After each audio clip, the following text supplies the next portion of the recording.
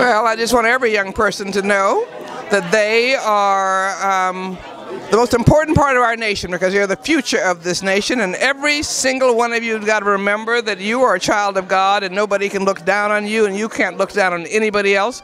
Don't let other people define who you are or dampen your dreams. You just hang in there and work hard, stay in school, read, turn off all this television and internet stuff and focus on your futures. But I just want you to know there are a lot of people who believe in you and you need to know that you are the most special part of our community. And we want to keep you out of a cradle to prison pipeline and make sure every one of you goes into a pipeline to college and to successful adulthood and to healthy family life. And so we love you.